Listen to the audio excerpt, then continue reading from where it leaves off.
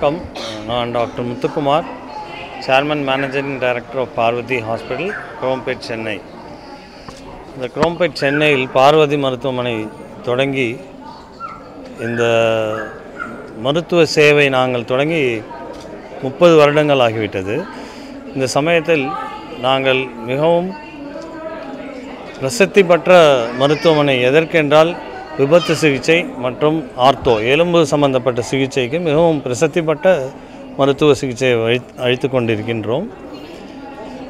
இந்த தருணத்தில் இருதய அறுவை சிகிச்சைக்காக ஒரு முழுமையான இருதய அறுவை சிகிச்சை மையத்தை உருவாக்கி இருக்கிறோம்.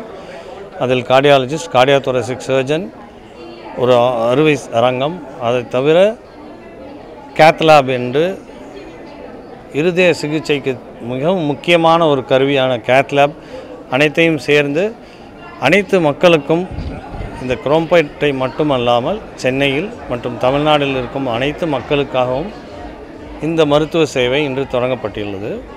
இந்த மருத்துவ சேவை தொடங்குவதற்காக Padmashri doctor G Bakthavatsalam KG மருத்துவமனையின் சேர்மன் வந்துள்ளார்.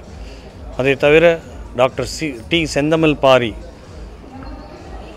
கேவிடி மருத்துவமனையின் சேர்மன் மற்றும் தமிழ்நாடு மருத்துவ சங்கத்தின் தலைவர் வந்துள்ளார். இந்த நிகழ்ச்சியின் மூலம் இந்த சேவையை நம் மக்களுக்கு நாங்கள் அளிக்க இருக்கிறோம். இந்த சேவை அனைத்து தரப்பினருக்கும் இருதய சிகிச்சையில் ஈவன் மருத்துவ சிகிச்சையில் முதலமைச்சர் காப்பீட்டுத் திட்டம் முதல் அனைத்து தரப்பினரையும் சேர்ந்து கவனிக்கும் விதத்தில் இந்த மருத்துவ சேவையை தொடங்கி இருக்கிறோம். இப்போ நாங்கள் வந்து ம பார்வதி மருத்துவமனை வந்து விபத்து சிகிச்சைக்கு வந்து ரொம்ப பெயர் போன மருத்துவமனை.